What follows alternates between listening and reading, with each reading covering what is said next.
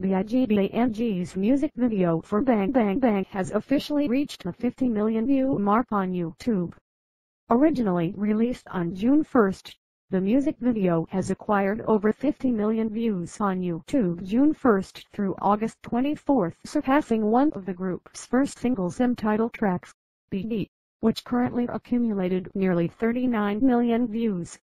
The other title track also from the M series, Loser, currently stands at 55 million views. In less than three months Bang Bang Bang has quickly caught up to mm. Loser.